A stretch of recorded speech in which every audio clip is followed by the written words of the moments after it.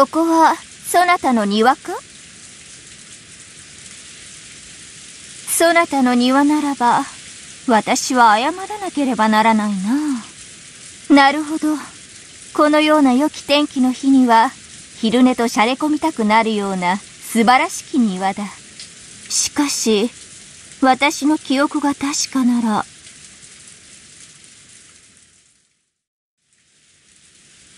ここは天下の行動だ。そなたはひき肉になりたいのか？あるいはすでにひき肉なのか？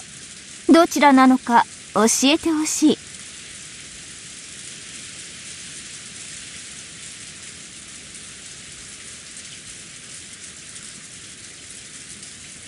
い。なるほど。まだひき肉ではなかったようだな。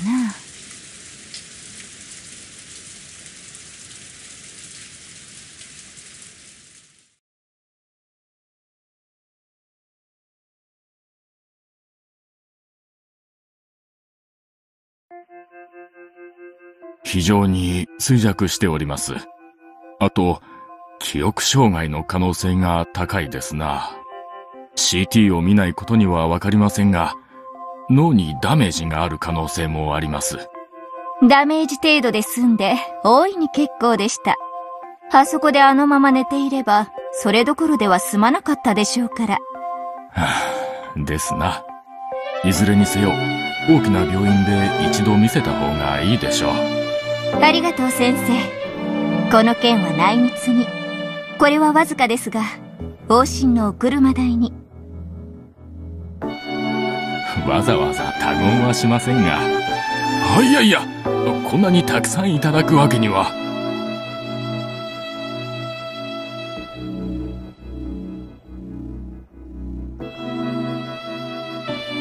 おや、起きていたのですか。具合はいかがです？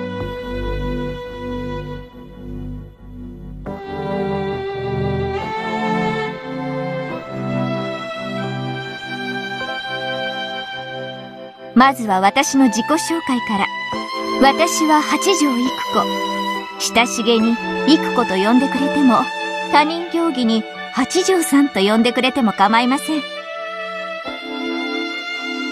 八条家はこの辺りでは、ちょっと知られた大地主の名家。出来のいい兄たちと違い、私はどこかずれた変わり者。いろいろと悪さが過ぎまして、とうとう親たちからも愛想をつかされて追い出され、今はここで窒居をさせられています。趣味は推理小説を読むことと、そして書くこと。年は秘密の独身女。心は女子でも、そろそろそれを語るには、おこがましいかなという年頃です。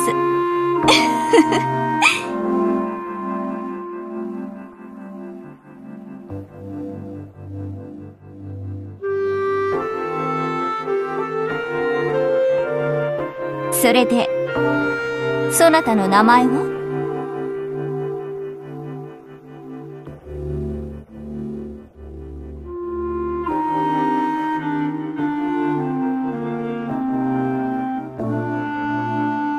何か名前以外に覚えていることは？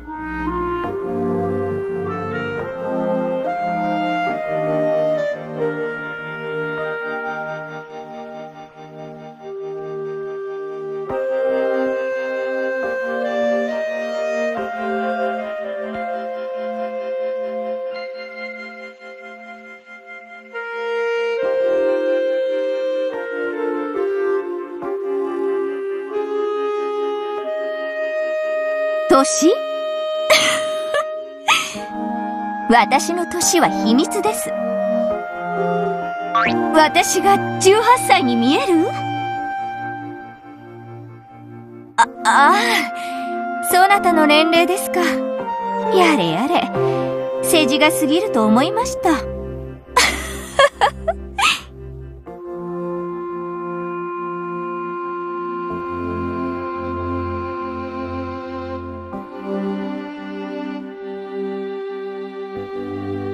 なるほど。そなたは18歳というわけだ。そしてそれ以上のことは何も覚えていないと。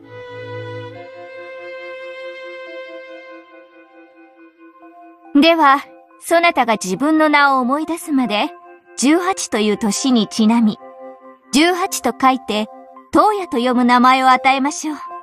八条東野。いかがです？ん？なかなかかっこいいです。自画自賛うんうん？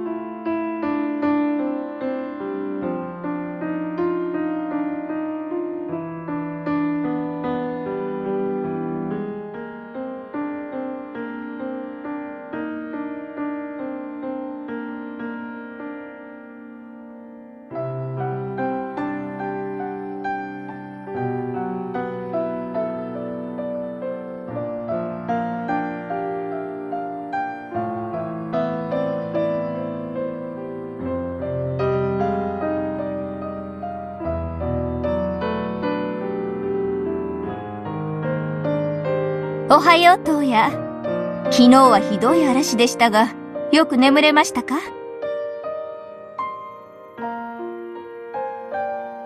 おやおや、どこまで読んでくれたのですか？これは驚いた。あの量の原稿用紙を一晩で読み切ったというのですか？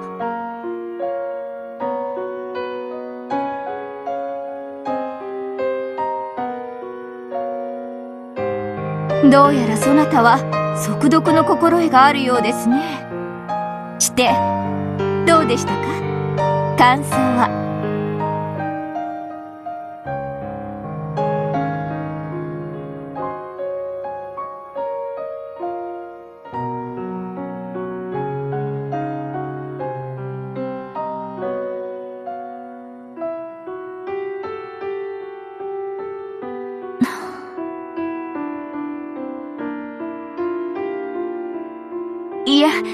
なぜ謝るのです？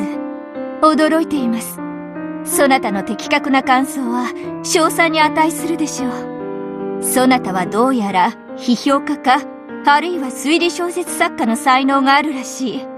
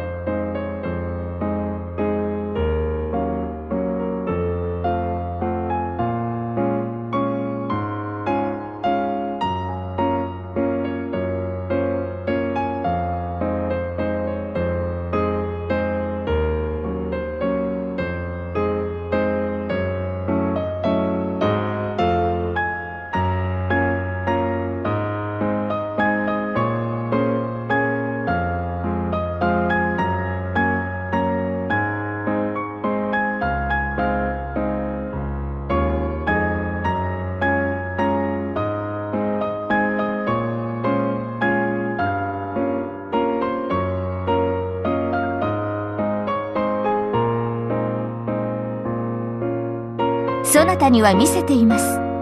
無論、出来のマシなものに限りますが。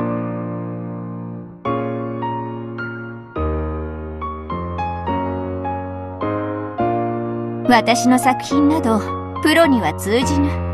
一度送ったことがあるが、さっぱりダメでした。私には分かっています。こんなもの、素人の道楽です。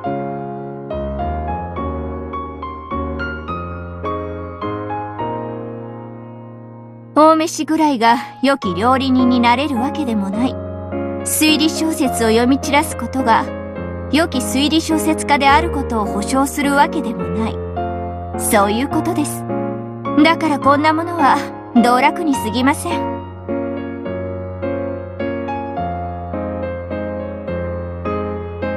かつては楽しかった。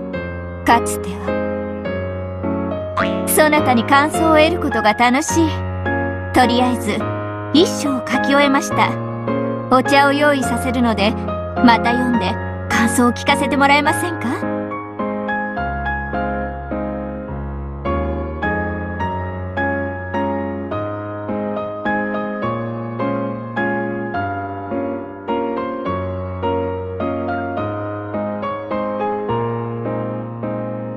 どうよ？しっかり。今頭痛薬を。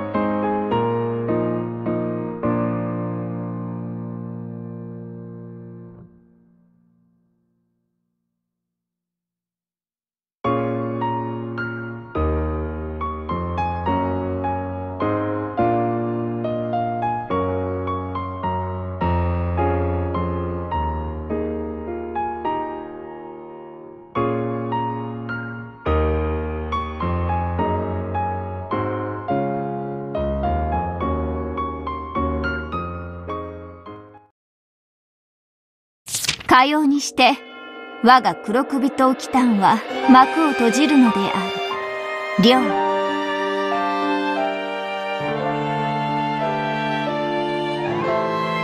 どうであるか？そなたのプロットを生かしつつ、最後に辻子の秘伝をもう少し厚くしてみました。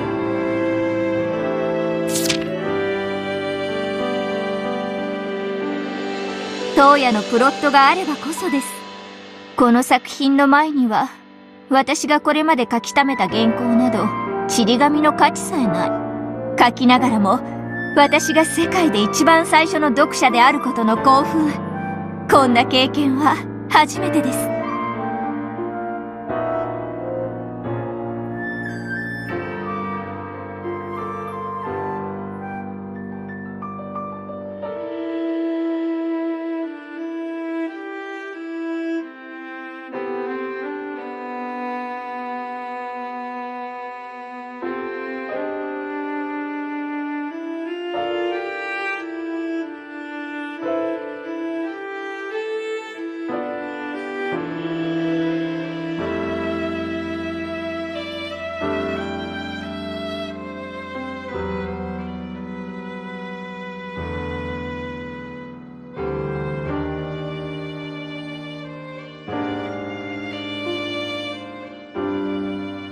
もしもし？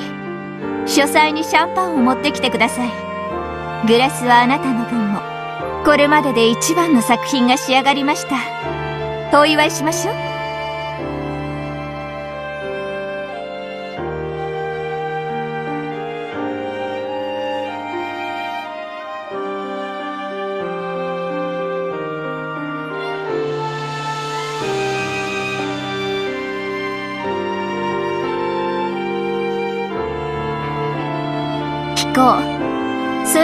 話すアイデアなら、シャワーとトイレ中でなければ、いつだって耳を貸そう。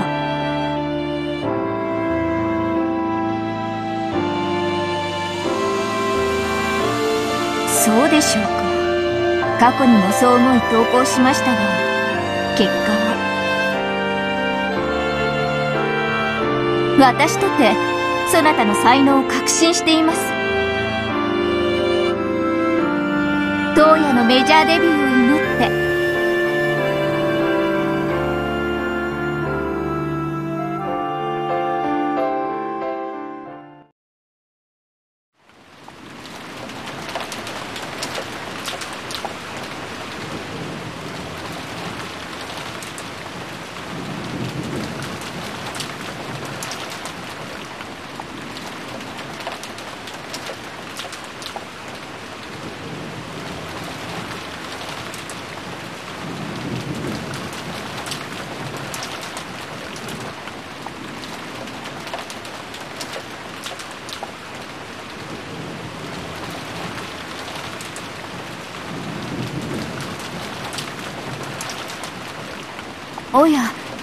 起こしてしまいましたか？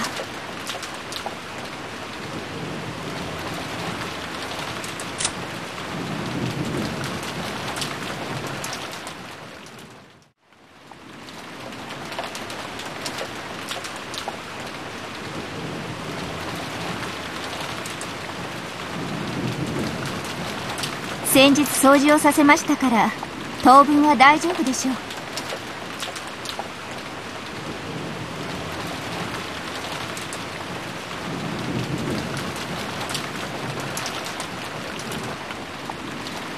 バカバカしいとは思いつつもなかなか面白いのです。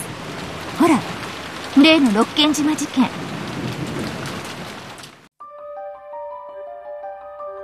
六軒島ミステリーの話は先日したでしょ？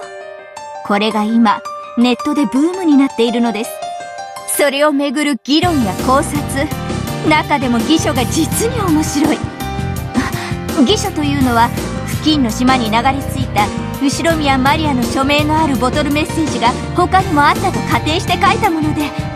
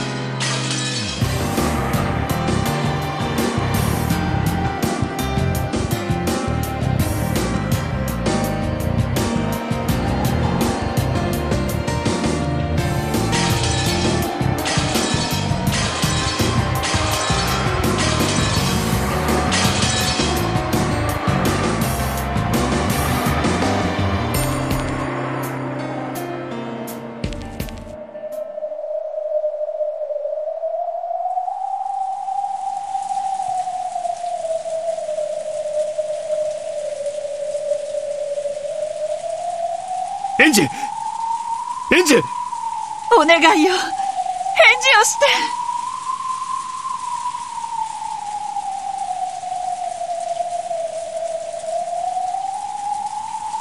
て。エンジしっかりしろ。お父さんの声が聞こえるか。お願いだから返事をして。エ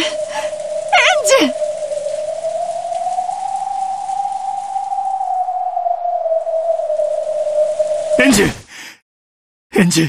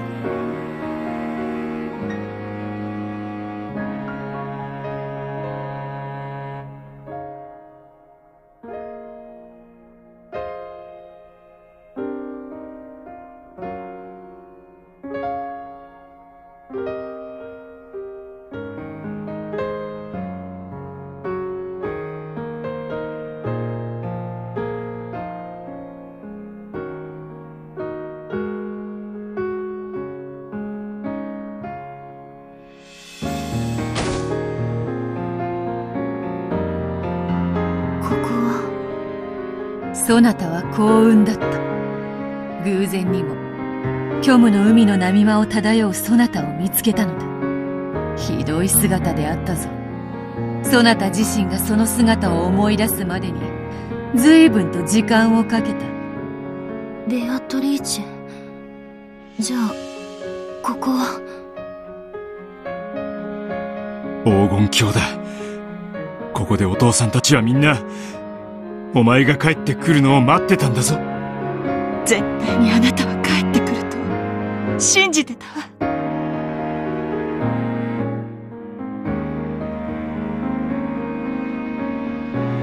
いや、お前は帰ってきたんだ。そうよ。あなたが私たちのところへ帰りたいと願ったから、ここへ帰ってこられたのよ。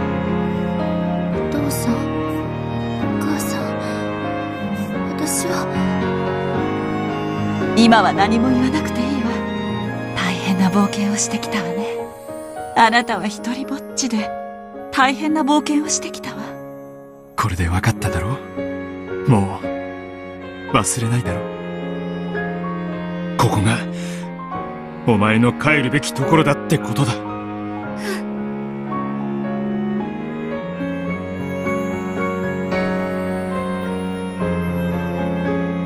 無事で、とても言えない姿だったけれど、よかったわ。帰ってきて。エヴァ、おばさん。私のことをいくらでも、憎んでくれていいから。だから、お父さんとお母さんに、100万回キスをしてあげて。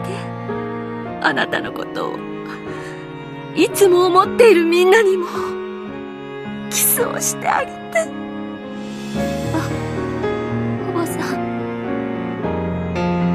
あなたのもう一人のお母さんに、どうか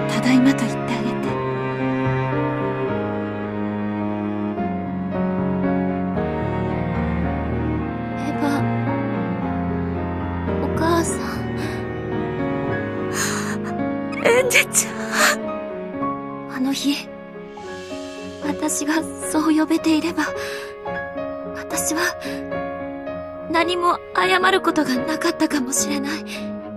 私たちは、新しい世界を二人で生み出せたかもしれない。もういいのよ。エンジェちゃんは帰ってきてくれたわ。だから、もう何も言わなくていいのよ。お母さん。おかえり。エンジェちゃん。あなた、私の可愛い娘よ。エヴァお母さん。あなたはいつまでも、そして、最後まで、私の一番の味方だった。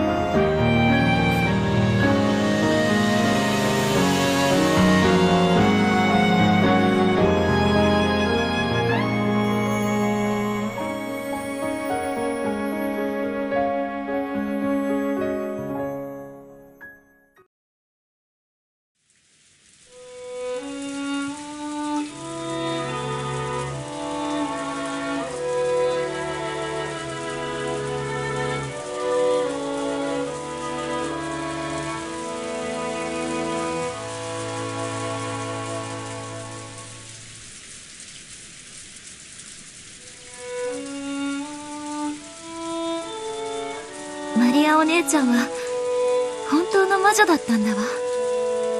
マリアは最初から魔女だよ。エンジェだって一度はその領域に近づけたのにね。ううん。本当の意味で分かってなんかいなかった。かわいそうなマリアお姉ちゃんの、かわいそうな魔法。そんな風にしか見ていなかった。だから、私には幸せのかけらが拾えない。見つけられない。かつてお姉ちゃんは私に、そう言ったわ。仕方ないよ。宇宙は二人で作らないと生み出せない。マリアにはベアトがいたけれど、エンジェは一人ぼっちだった。いいえ。もし、エヴァおばさんをお母さんと呼べていたら、私は二人だったわ。マリアお姉ちゃんと同じ魔法で、私は新しい世界を生み出せたわ。すべてわらわのせいだ。わらわが面白半分に投じたボトルメッセージが、そなたの未来に歪みを生み、そなたを蝕んだ。わらわにもその責任がある。まったくね。あんたのボトルメッセージのせいだわ。そのせいで、あんたの真似をした偽書を書く連中が現れて、どんどんおかしな話が膨らんでいった。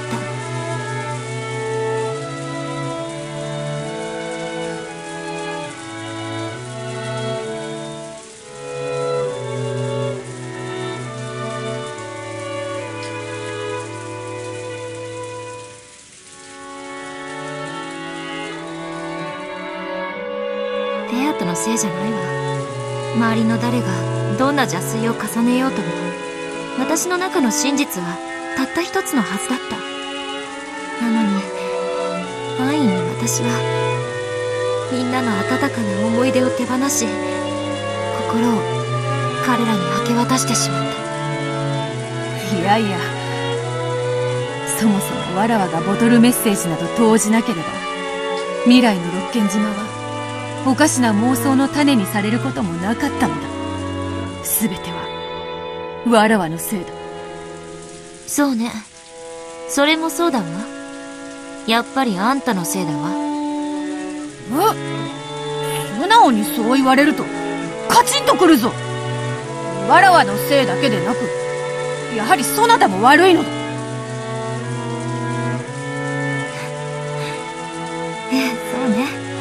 あんたも悪いし、私も悪いわ。でも、お互い罵り合うのも馬鹿らしい。だって、私は未来の魔女。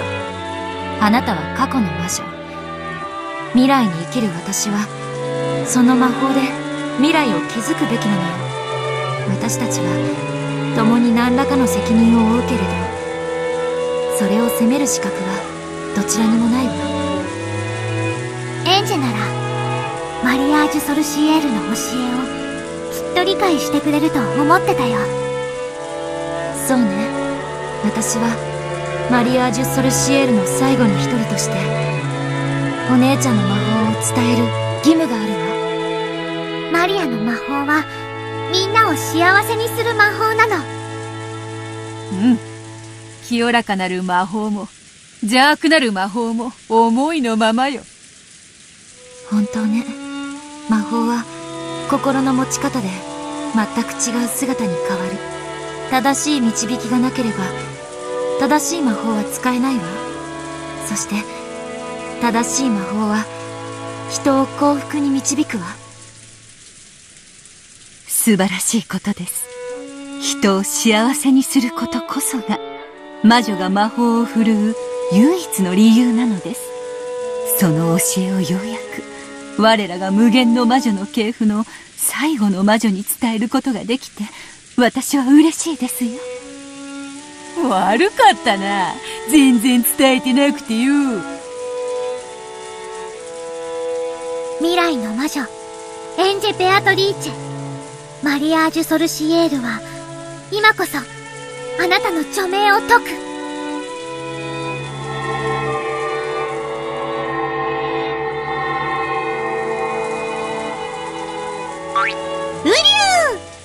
エンジジェはきっと帰ってきてくれるって信じてたよ。おめでとうございます。エンジェ様。あなたたちと共に旅をした日に私は一度は理解をしたつもりでいたのに。ごめんね。本当にごめんね。魔女は二人でなければ宇宙を生み出せぬ未来のそなたは一人だが本当に大丈夫か？ええ大丈夫。私はもう一人じゃないもの。私は生きるわ。みんなと一緒に。そして未来に生きる。マリアージュ・ソルシエルの魔法を伝えるために生き抜くことを誓うわ。マリアお姉ちゃんの魔法は私でさえ救ってくれたもの。魔法を必要としている人たちはもっと大勢いる。それを正しく伝え一人でも多くの人々を救うことがマリアージュ・ソルシエールの最後の魔女の。私の使命なんだわ。それは実現できそうか？もちろんよ。そのための力だってあるわ。私の先代様エヴァ・ベアトリーチェがたっぷりと築き上げてくれた黄金の魔法があるもの私はそれを全て継承しているわ。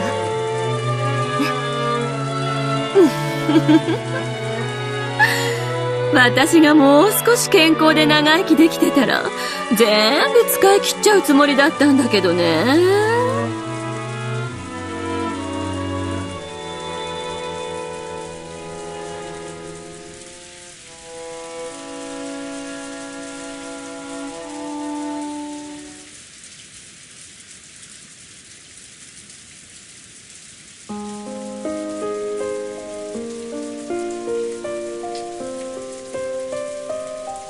兄ちゃん。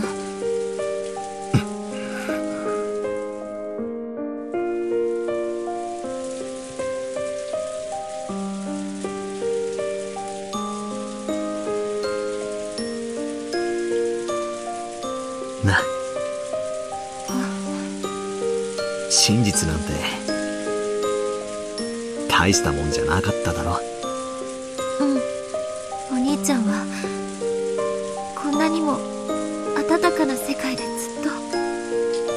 私の帰りを待っててくれたのに私だけがずっと背を向けていたから。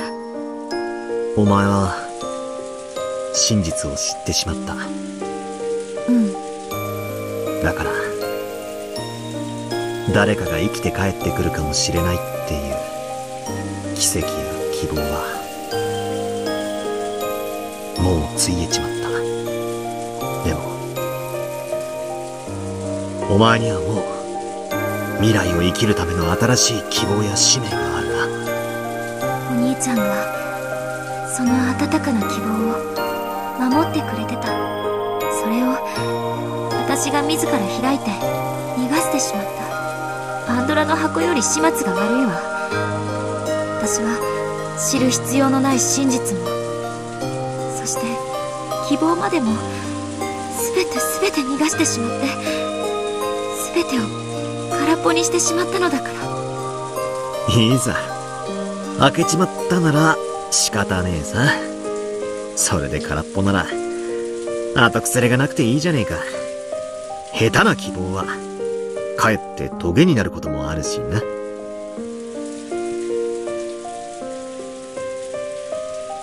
俺たちはもう死んでる。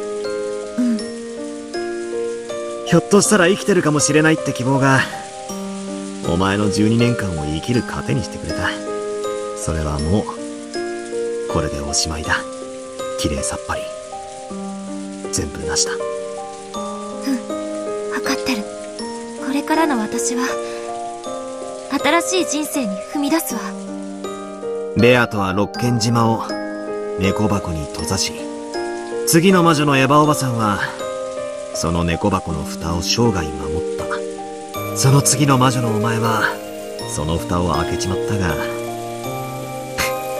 だからって何だってんだ。過去の真実なんてどうでもいいことじゃねえか。ええ私私はこれから真に生きる。そして自分だけの真実を結実するわ。頑張れよ。マリアージュ・ソルシエールの最後の魔女。マリアの魔導書を読んだぜ。あれはとてもいいことを書いた。素晴らしい本だ。聖書だって翻訳がいる。ならマリアの魔導書にだって翻訳がいるだろう。お前がそれを翻訳するんだ。そしてかつてのお前と同じ境遇の子供たちに伝えてやれ。それがお前の新しき未来の魔女の使命だ。俺はいない。でもお前の後ろにいつだっていて見守ってるからな。知ってるわ。お兄ちゃんだけじゃないわ。みんなも一緒よ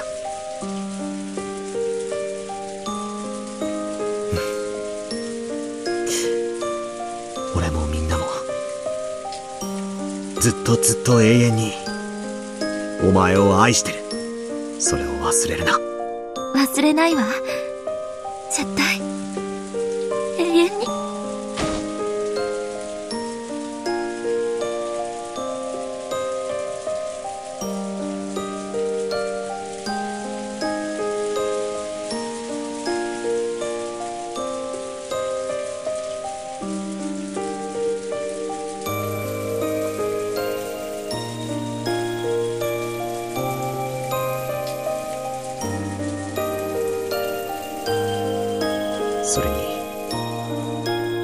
島の猫箱はまだ完全に開かれたわけじゃない。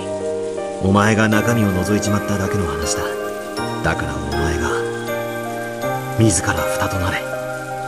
そして今度はお前が猫箱の中のみんなを守るんだ。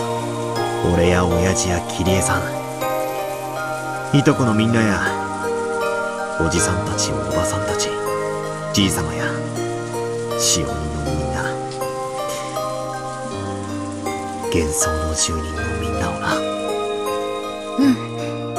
今度は私がみんなを守らなきゃ。ならそれは急いだ方がいいんじゃない？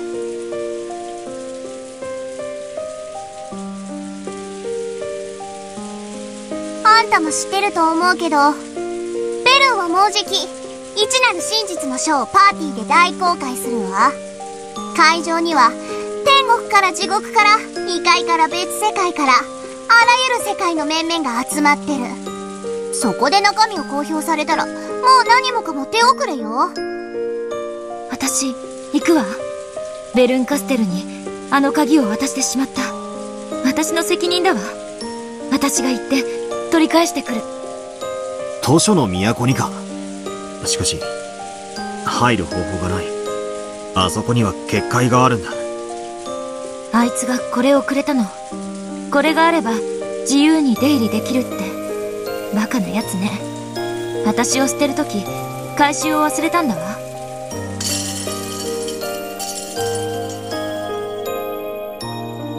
それを招待状と引き換えに渡される図書の都の臨時入館証それがあればとりあえず一人は図書の都に乗り込めるわね。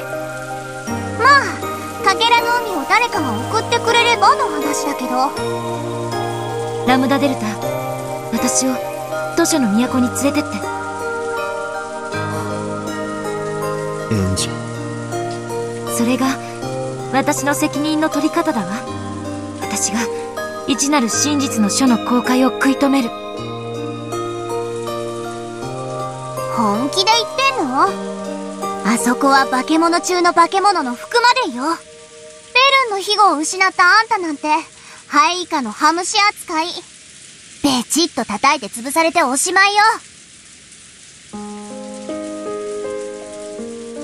あ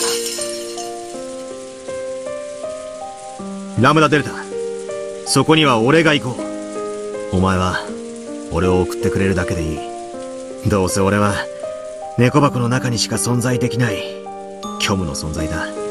だがエンジは未来に生きなくちゃならない。そしてお前だって、未来ある存在だ。だから俺が行く。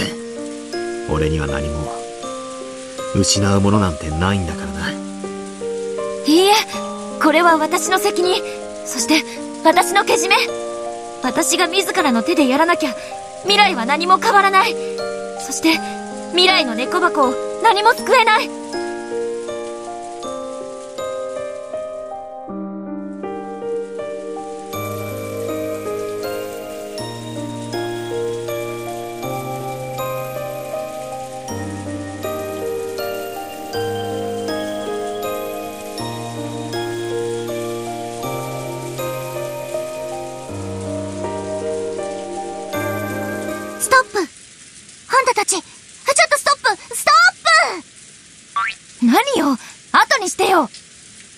今兄弟で大切な話をしてるんだまずあんたたち、その組み合ってる手を解きなさい。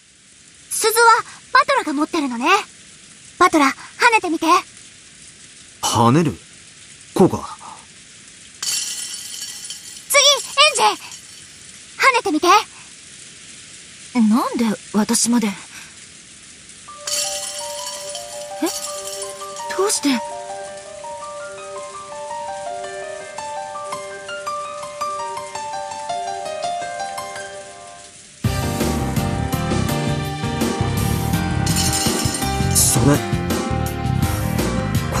同じ鈴だよな。そんなどうして2つ？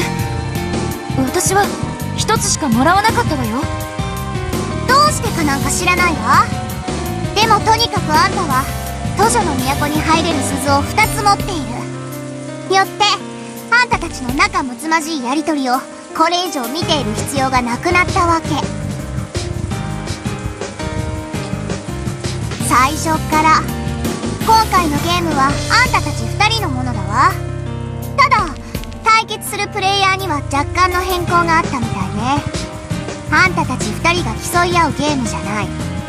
猫箱をめぐって蓋を閉ざそうとするバトラとエンジェとそれを開こうとするベルンとの戦いだわ。エンジェはベルン側からバトラ側にチームを変更した。それだけの話。ダメだデルタ俺たち。図書の都へ連れて行ってくれ。